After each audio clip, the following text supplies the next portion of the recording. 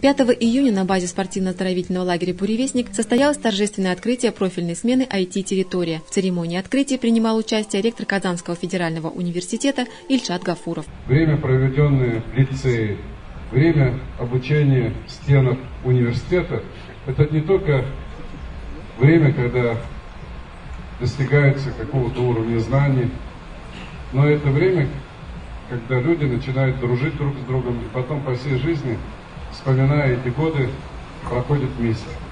Дай Бог так же будет и у вас. Набирайтесь сил, здоровья для того, чтобы 1 сентября мы с вами все встретились на Дне знаний и в лицее Лобачевского, и в IT-лицее.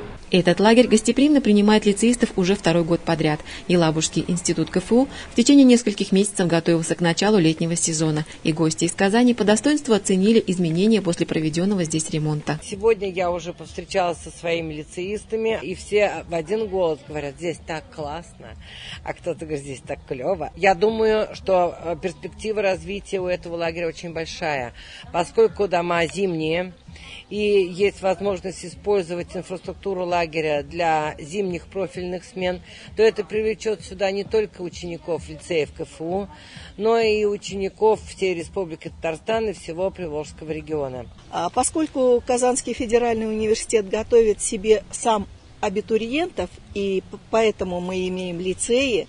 Мы хотим, чтобы наши лицеисты обязательно заразились духом нашего императорского Казанского университета, чтобы они хотели поступить только к нам, чтобы и вот именно это сообщество зарождается таких летних и зимних лагерных сменах. Для почетных гостей активисты смены провели экскурсию по учебным классам, где ведутся занятия по информатике, робототехнике и арт-дизайну. Ребята рассказали ректору о том, как проводят они здесь свое время и показали несколько творческих номеров, подготовленных ими специально для праздника. А на новой спортивной площадке в этот день прошел турнир по волейболу на Кубок ректора КФУ. По мнению Ильшата Гафурова, Казанский федеральный университет всегда ставил перед собой задачу воспитывать не только умные, но и здоровые поколения молодых людей.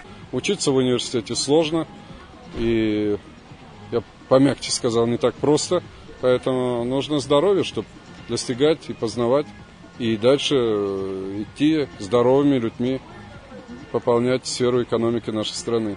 Действительно, мы хотим, чтобы буревестник работал круглогодично, поскольку только в этом случае достигается экономически хороший эффект, э, как для людей который будет поправлять здоровье и в зимний период. Здесь прекрасное место, можно кататься на лыжах, на санках, на коньках.